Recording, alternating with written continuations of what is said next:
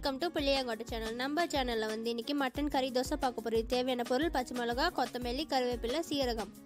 நான் வந்து mutton gravy பண்ணி வச்சுருந்தேன். அதில் இருக்கிற மட்டன் பீசஸை மட்டும் ஒரு அஞ்சுலேருந்து ஆறு பீசஸை ரெண்டாக கட் பண்ணி ஒரு மீடியம் சைஸ் டம்ளர் எடுத்து அதில் சேர்த்துக்கிறேன்.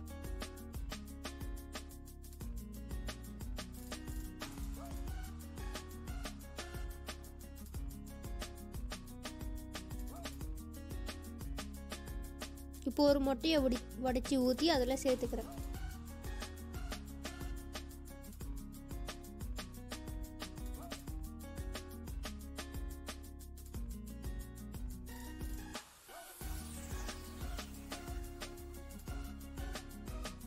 அடுத்து கொத்தமல்லி.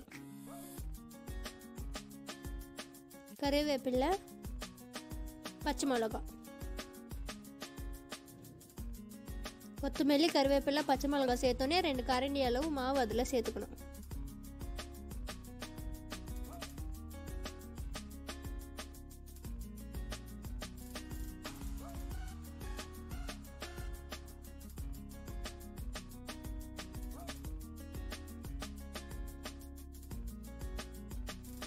இப்போ மாவு சேர்த்தோன்னே ஒரு மூணுலேருந்து நாலு நிமிஷம் வரையும் நல்லா மிக்ஸ் பண்ணிக்கோங்க.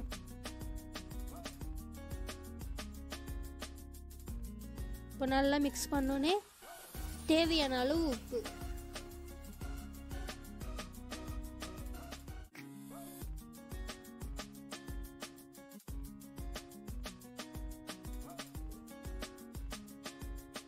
ஒரு டீஸ்பூன் மிளகு. மிளகுத்தூள்.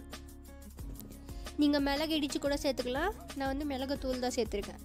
இப்போ மிளகுத்தூள் சேர்த்தோன்னே உப்பு சேர்த்து நல்லா மிக்ஸ் பண்ணிக்கணும். அது ஃபுல்லாக அப்படியே ஆகிற வரையும்.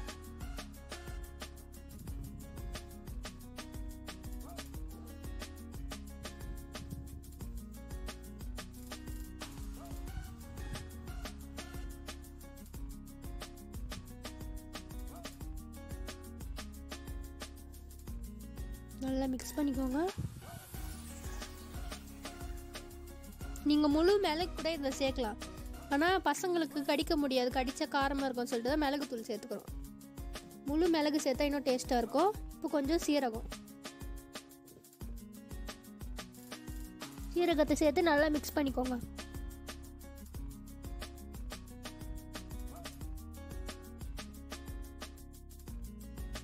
இப்போ கேஸ் ஆன் பண்ணிக்கோங்க.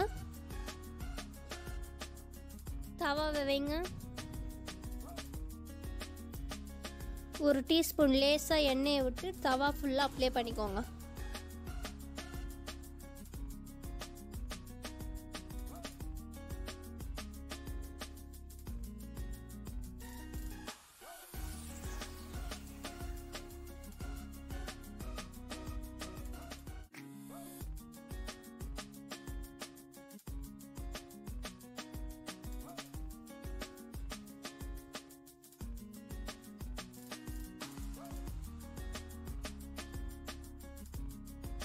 தவா நல்லா காஞ்சோடனே நம்ம மிக்ஸ் பண்ணி வச்சுருந்த அந்த தோசை மாவை ஊற்றலாம்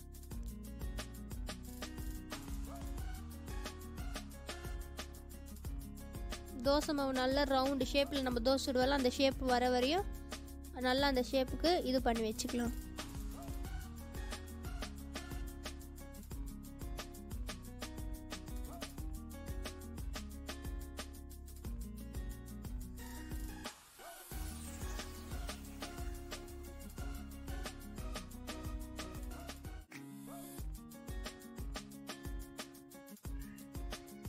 இப்போ கொத்தமல்லி அது மேலே லேசாக தூவிக்கோங்க.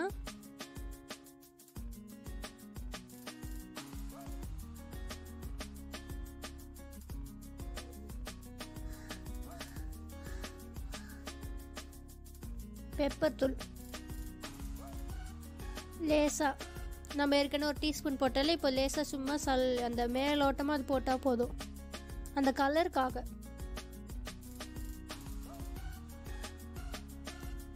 இப்போ ஒரு ஸ்பூன் எண்ணெயை ஊற்றி நல்லா தோசை ப்ரௌனாக வர வரையும் வெயிட் பண்ணலாம். இப்போ தோசை நல்லா வெந்திருக்கும். இப்போ திருப்பி விடலாம்.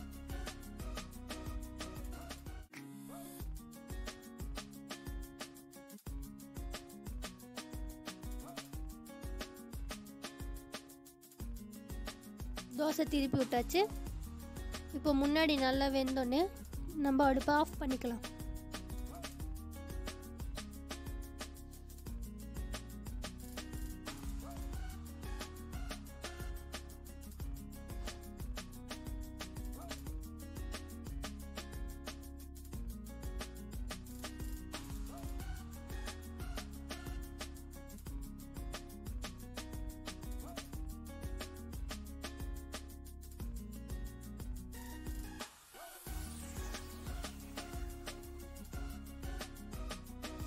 இப்போ முன்னாடி நல்லா வெந்துடுச்சு. இப்போ திருப்பி போட்டு கேஸ் ஆஃப் பண்ணிவிட்டு பிளேட்டில் சர்வ் பண்ணிக்கலாம். ஓகே ஃப்ரெண்ட்ஸ் இப்போ பார்த்தீங்கன்னா நம்ம தோசை ரெடி ஆகிடுச்சு இப்போ அந்த தோசையை நான் பீஸா மாதிரி நாலாக கட் பண்ண போகிறேன்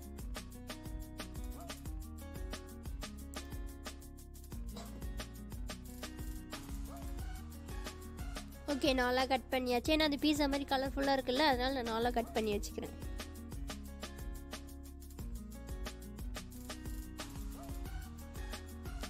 ஓகே நம்ம மட்டன் கறி தோசை ரெடி ஆயிடுச்சு. இந்த வீடியோ உங்களுக்கு பிடிச்சிருந்தா லைக் பண்ணுங்க ஷேர் பண்ணுங்க கமெண்ட் பண்ணுங்க. லைக் பண்ணுங்க ஷேர் பண்ணுங்க கமெண்ட் பண்ணுங்க சப்ஸ்கிரைப் பண்ணுங்க. நீங்க மூடிட்டு வாங்க.